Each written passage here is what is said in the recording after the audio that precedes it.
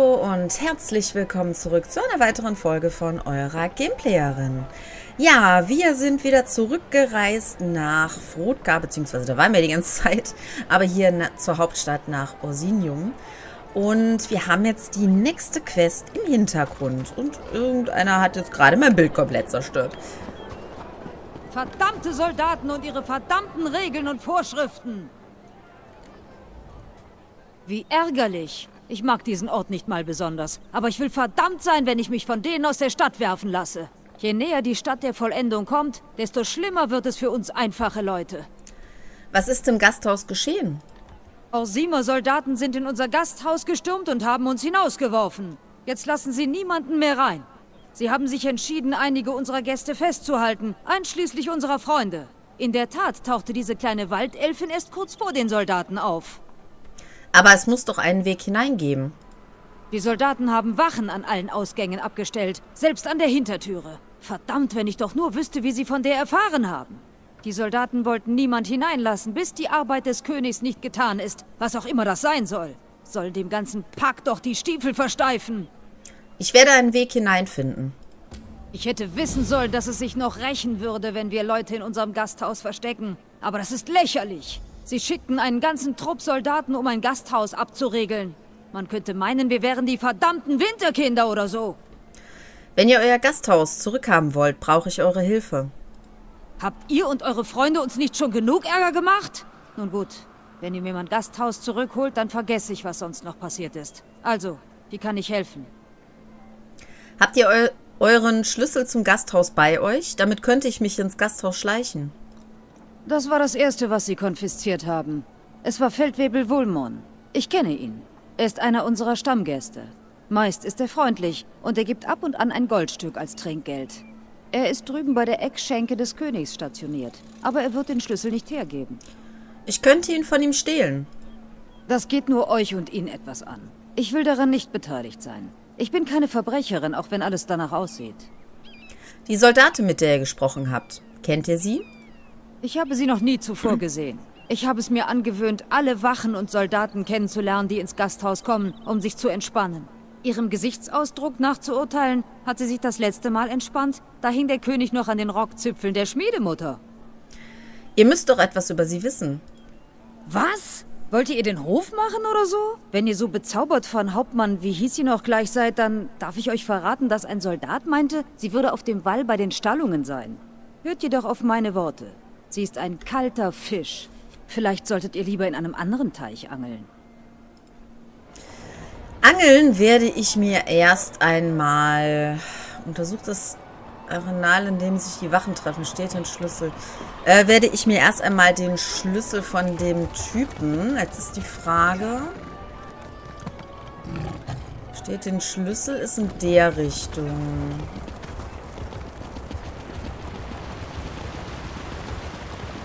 Hm. Wenn ich den Typ... Ah, der. Okay. kann ich mit ihm reden? Nee, kann ich nicht. Und ich habe keine hundertprozentige Chance zum Stehlen. Na super.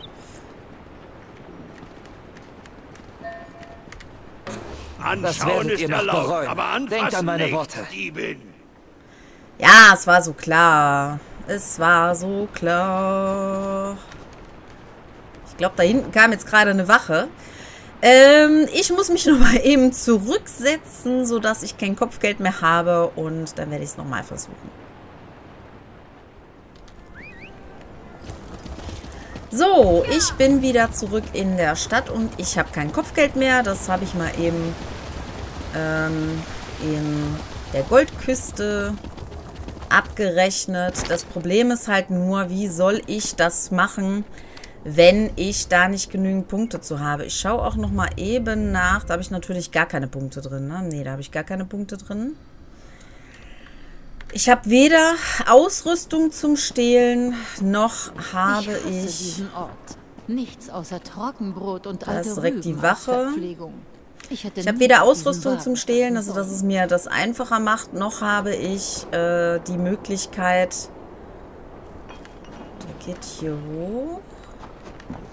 noch habe ich die Möglichkeit, noch Punkte reinzumachen, weil wir halt noch nicht die Diebesgilde gemacht haben. Mehr als 60% Chance bekomme ich bei ihm nicht. Das ist halt das Problem.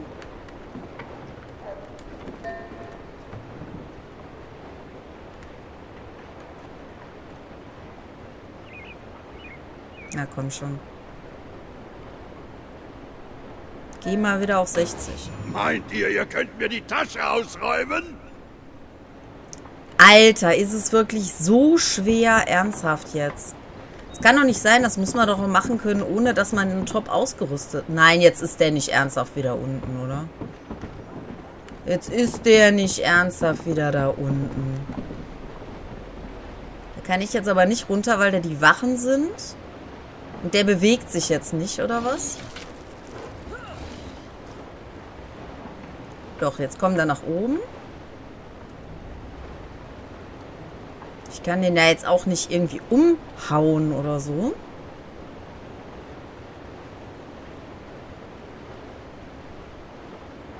Der Glaube züchtet Fanatiker, das ist unvermeidbar. Was ist? Ist das der Typ hier oben gewesen oder was? Wenn er mich nicht sieht. Wenn er nicht sieht, dass ich hier bin. Basti, geh mal weg da. So sieht er dich. Kommt gar nicht hoch, oder? Hallo?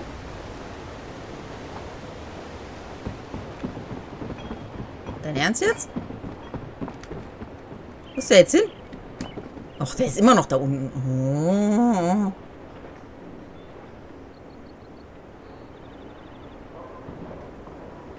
Mach schon.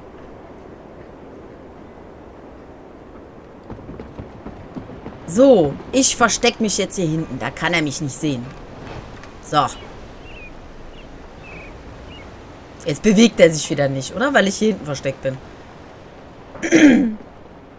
Wie dämlich ist das bitte gemacht? Nee, jetzt steht er wieder da vorne. Alter, willst du mich verarschen? Willst du mich verarschen? Was ist mit dem Spiel heute los? Jetzt geht er wieder weiter. Und sobald ich mich zwei Meter nach rechts bewege, ist er dann wieder weg, oder was? Ey.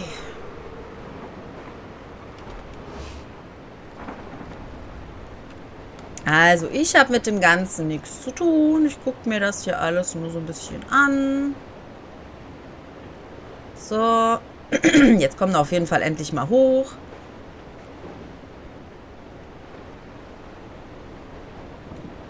So, das Problem ist halt, ich würde ihn ja...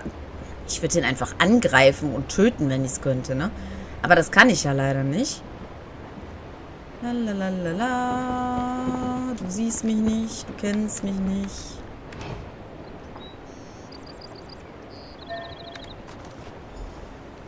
Es ist nicht dein... Ah, doch. Ach, jetzt habe ich nur... Oh. Verdammt, ich muss es hier irgendwo fallen gelassen haben. Ja, der ist bestimmt hier irgendwo durch die Ritze durch. Genau. So, sehr schön. Beim dritten Versuch haben wir es dann endlich geschafft. Bei einer 60-prozentigen Chance. Das Problem ist jetzt nur, dass wir jetzt hier überall die Wachen haben und nicht mal eben so rein können. Hier ist die Usinium-Wache. Die würde mich nämlich sofort aufgreifen. Das heißt, ich werde mich dann... Oh, Die sind, aber eigentlich sind die nicht rot, oder? Ich bin mir jetzt gerade nicht sicher, weil sonst müssten die mich eigentlich hier oben sehen. Ähm, gilt das als gestohlen? Questgegenstände? Nö, gilt nicht als gestohlen, ne? Allerdings habe ich Kopfgeld. Also es kann sein, dass die mich aufhalten. Ich laufe jetzt mal einfach... Ja, ja, die halten mich auf. dich ein, wenn ihr darauf besteht. Aber erst kümmern wir uns. Ich bedauere sehr, dass ich zurück auf Streife muss. Vielleicht später. Äh, bitte, was? Äh. Ähm, ich laufe übrigens in die falsche Richtung. Da komme ich gar nicht rein, fällt mir gerade auf. Aber unser Kopfgeld ist auf jeden Fall jetzt schon mal weg. Und beim letzten Mal bin ich nur extra zur Goldküste rüber, weil ich hatte noch ein paar gestohlene Sachen im Inventar. Da das jetzt aber eine Quest-Sache ist, haben wir zumindest schon mal den Vorteil, dass die nicht wieder weggenommen werden kann. So, trefft euch mit den... Achso, unten. Zack.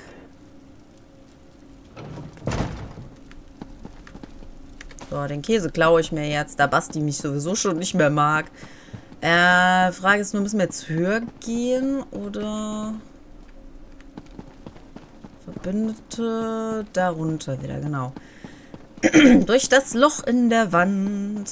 Irgendwie laufe ich heute komisch. Da sind sie. Nee, da sind sie nicht. Oh, oha, was passiert? Ihr kommt ein bisschen spät. Sie ließen mich hier einfach zum Sterben zurück. Was ist dir vorgefallen? Wo sind die anderen? Ich habe Nachrichten überbracht.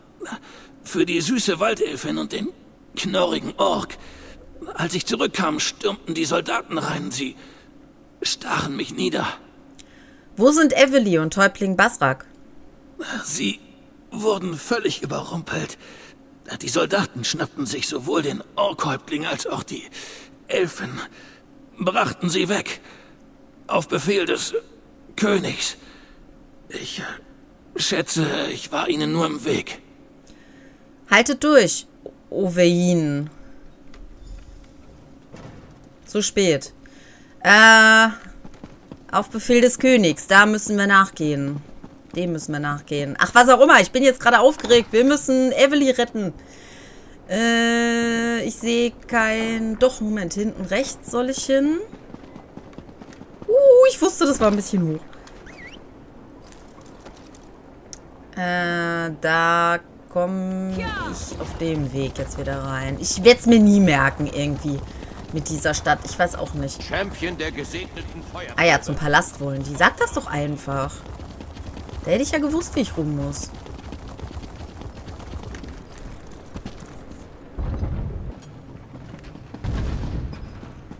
Ähm, nee, halt. Hä? Höher. Hallo? Wo muss ich hin? Da. Ah, meine liebste Problemlöserin ist zurück. Seid ihr gekommen, um zu sehen, was ihr erreicht habt? Dank euch sind die Clanshäuptlinge zusammengekommen, um sich anzuhören, was ich zu sagen habe.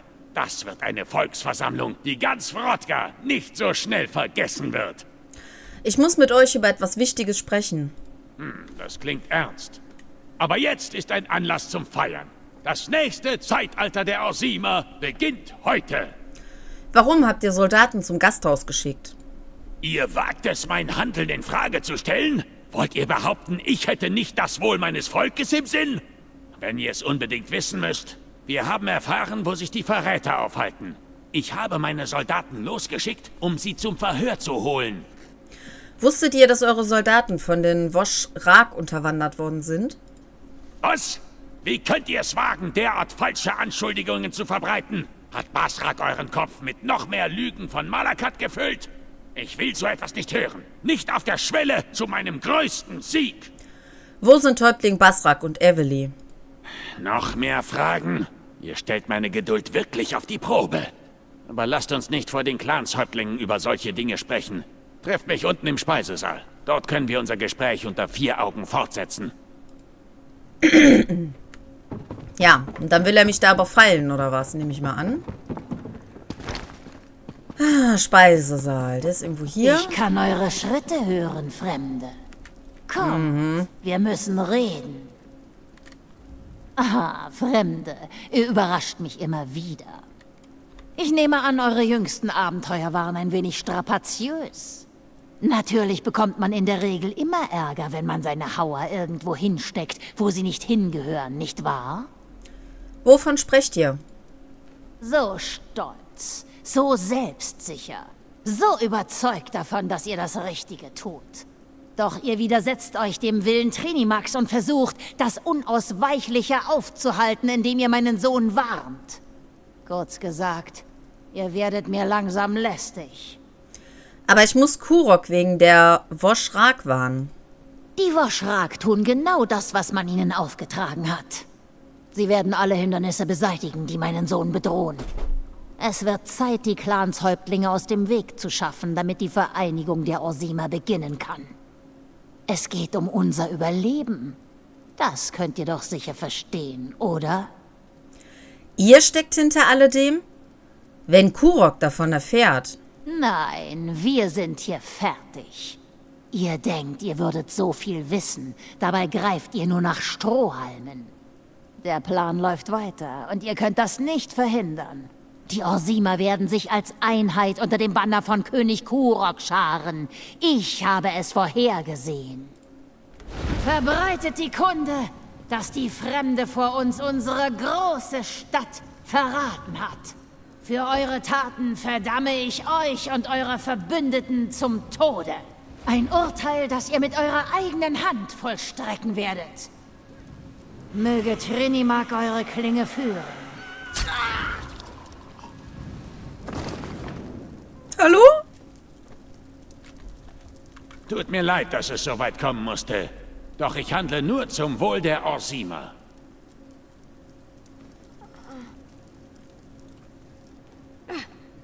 Wollt ihr mich verarschen? Gut, das wird aber auch Zeit. Ich wäre enttäuscht gewesen, wenn ihr gestorben wärt, nachdem ich euch hier heruntergeschleppt habe. Hallo? Als Schildweib von König Kurok lernt man eine Menge übers Heilen. Anscheinend versagt mein Können auch bei Fremden nicht. Aber wir haben schon genug Zeit verschwendet. Wir müssen uns in Bewegung setzen. Was ist geschehen? Ich gebe zu, ich habe euch nie vertraut. Doch ihr habt unserem Volk geholfen. Ihr habt Besseres verdient, als ein Opfer der Schmiedemutter zu werden. Ich habe euch hier nach hinten geschleift, bevor die Woschra kamen, und euch geheilt, so gut ich nur konnte. Jetzt verschwindet von hier, bevor euch die Soldaten finden. Ich kann nicht einfach verschwinden. Nicht solange es noch Dinge gibt, die getan werden müssen. Mein Geliebter tut, was er tun muss, um unser Volk zu einen. Ihr wisst, dass das wahr ist. Ihr habt es gesehen. Die Clanshäuptlinge weigern sich, ihm zuzuhören. Wenn Kurok scheitert, werden die Orks nie mehr als die misshandelten und elenden Kreaturen sein, für die uns die anderen Völker halten. Es muss einen anderen Weg geben. Die Häuptlinge sind schon auf dem Weg zur Volksversammlung und die Woschrak bewachen die Feste. Wenn ihr überleben wollt, dann müsst ihr jetzt gehen. Ich will nicht gegen euch kämpfen, aber falls ihr euch entscheidet, dem König nachzusetzen, nun, ich habe geschworen, meinen Geliebten zu beschützen. Ich werde nicht ohne Häuptling Basrak und Evely gehen. Ich habe mir schon gedacht, dass ihr das sagen würdet. Nehmt das hier. Es wird die Zellen des Kerkers unter der Feste öffnen. Bringt einfach eure Freunde weit weg von diesem Ort und lasst meinen Geliebten seine Mission zum Aufschwung unseres Volkes zu Ende bringen. Bevor ich gehe, möchte ich euch etwas fragen. Mein Geliebter glaubt, dass dies der einzige Weg ist, seinen Traum wahr werden zu lassen. Als sein Schildweib unterstütze ich ihn, so wie ich es immer getan habe. War das die ganze Zeit schon Kuroks Plan? Nein. Er hatte gehofft, dass die Häuptlinge anfangen würden, an seine Vision zu glauben. Dass sie die Zukunft so sehen würden, wie er es tut. Er wollte nie, dass es so weit kommt. Doch ein König muss immer das tun, was für sein Volk am besten ist. Wird die Ermordung der Häuptlinge die Clans denn nicht gegen Kurok wenden? Warum sollte dem so sein?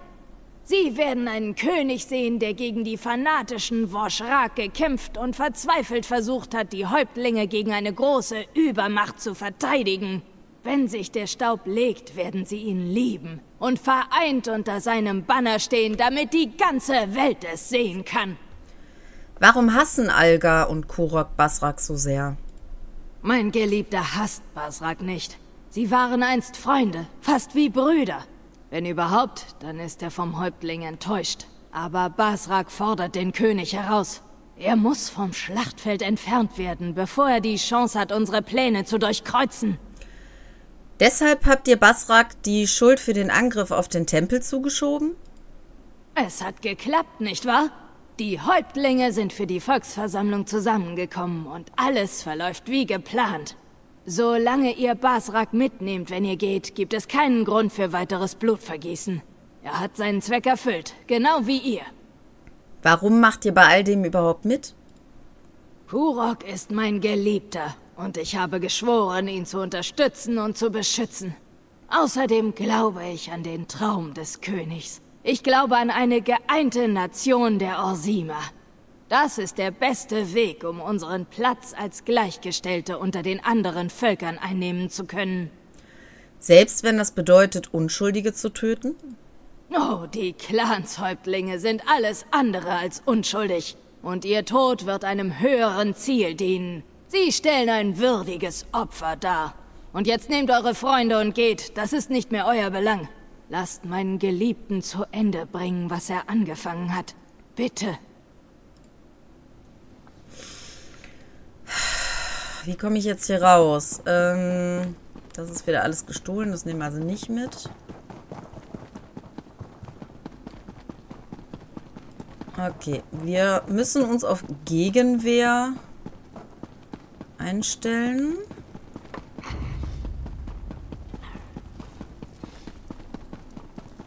Jetzt bin ich... Doch, jetzt bin ich doch richtig. Nee, hä? Hä, der sollte eigentlich hier sein. Was ist das denn jetzt?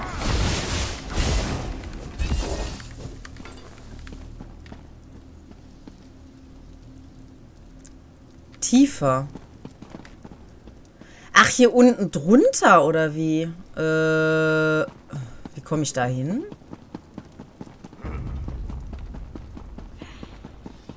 Dadurch. Okay. Ähm, okay. Wir müssen wirklich aufhören, uns so zu treffen.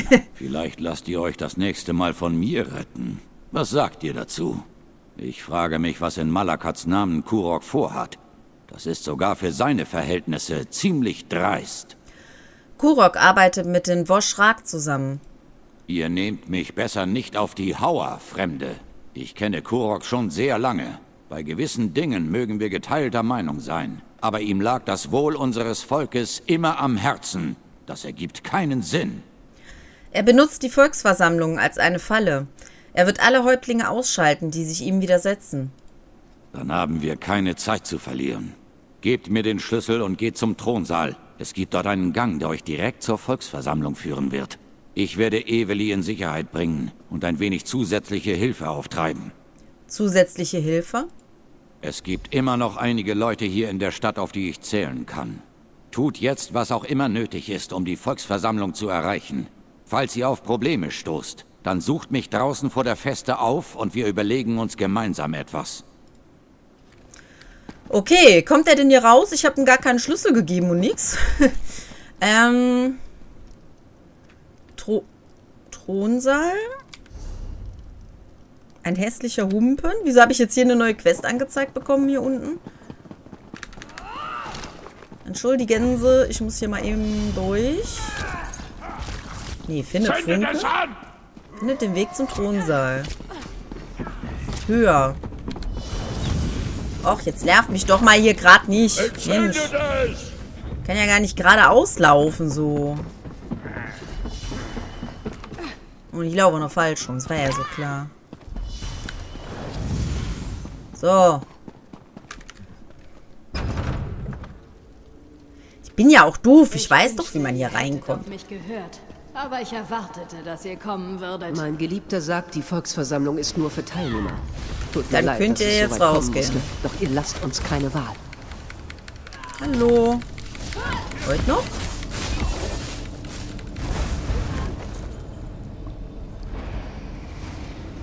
bin gerade aggro. Wo muss ich hin? Zum Thron. Geliebte Schildweiber, verschließt die Wege zur Volksversammlung. Wir werden in Kürze anfangen und ich möchte nicht, dass wir gestört werden. Sobald ich das Tor vom Thronsaal aus entriegle, brauche ich euch, meine Geliebten, und treu ergebenen Schildweiber. Ihr müsst Wache stehen und euch um jeden kümmern, der es wagt, mich herauszufordern. Seid besonders auf der Hut vor diesem abtrünnigen Element, das uns verraten hat. Kümmert euch darum und geht dann zu den Soldaten, die ich bereits ausgesandt habe, damit sie sich um Hohepriesterin Solgra kümmern und den einzigen verbliebenen Zugang zur Volksversammlung schließen. Sobald sie als Anführerin der Woschrak enttarnt ist, muss es schnell gehen. Bald schon werden die Orsima unter einem gemeinsamen Banner stehen, dem Banner von König Kurok und der Nation der Orsima.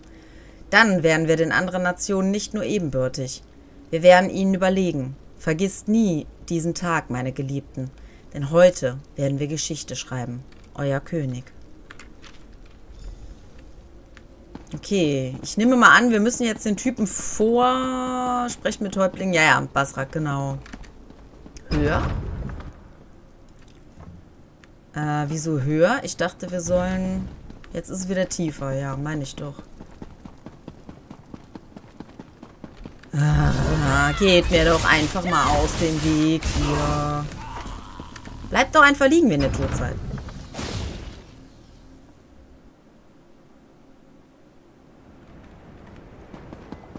So, wo ist er? Oben, unten? Ne, oben. Habe ich mir doch irgendwie gedacht. Wo ist denn jetzt hier die Nachhut? Ich hatte da so ein Gefühl, dass ich euch hier finde. Kurok hat den Weg zur Volksversammlung abgeriegelt, oder? Verdammt, die meisten meiner Kontakte sind untergetaucht. Und seit ich euch vom Boden der Feste abgekratzt habe, sind wir noch keinen Schritt näher an einer Rettung der Häuptlinge. Ich habe diese Notiz im Thronsaal gefunden. Zeigt mir das mal her. Man kommt durch den Tempel zur Volksversammlung? Ich hatte keine Ahnung, dass es diesen Gang gibt. Doch dann schickten sie Solgra Soldaten hinterher. Das ist schlecht. Wir brauchen einen neuen Plan, und zwar sofort. Irgendwelche Vorschläge? Ihr müsst weiter zum Tempel und nach der Hohepriesterin schauen. Eveli und ich haben noch einen anderen Ort, an dem wir nach Hilfe suchen können. Wenn wir Erfolg haben, wird der Weg zur Volksversammlung vielleicht etwas weniger kompliziert. Seid aber auf der Hut. Die Soldaten und Wachen suchen immer noch nach euch beiden. Das ist mir sehr wohl bewusst. Ich zähle darauf, dass der Beginn der Volksversammlung sie ablenken wird. Aber wir werden keine unnötigen Risiken eingehen. Solgra muss am Leben bleiben, um ihre Version der Geschichte zu erzählen. Danach können wir zur Volksversammlung vordringen und die Häuptlinge retten. Dann werde ich versuchen, mich zu sputen. Ihr habt bereits mehr für mich und mein Volk getan, als ich je hätte erwarten können. Ich weiß das zu schätzen. Es beweist, dass ihr Ehre habt. Nun geht zum Tempel und vergewissert euch, dass es der Hohepriesterin gut geht. Wir brauchen sie lebendig. So, und wir haben einen passgenauen, schweren Gürtel erhalten. Der Tempel wird binnen dreier Monde zweimal von waffenschwingenden Fanatikern belagert. Das ist doch verrückt. Kurok hat diese Lawine ausgelöst. Jetzt müssen wir versuchen, sie irgendwie aufzuhalten. Ich werde tun, was ich kann. Ich weiß, dass ihr das tun werdet. Ich habe euch bei der Arbeit gesehen. Ich habe das Gefühl, dass das Schicksal von Wrodka davon abhängt, was wir als nächstes tun. Unsere Taten, ob wir nun erfolgreich sind oder nicht, bestimmen über die Zukunft von Orsinium und des orkischen Volkes. Glaubt ihr wirklich, dass alles darauf hinauslaufen wird? Wie könnte es das nicht? Der Tempel, die Volksversammlung, das sind die Feuer, die unsere Härte auf die Probe stellen werden. Entweder wir gehen stärker daraus hervor, oder die Flammen verschlingen uns. Geht jetzt und helft Solgra. Ich werde zum Tempel gehen und der Hohepriesterin helfen. Ja, aber ich denke, dass das doch eine Weile dauern wird. Deswegen würde ich sagen, machen wir hier erstmal einen kleinen Cut und sehen den Rest dann in der nächsten Folge. Ciao!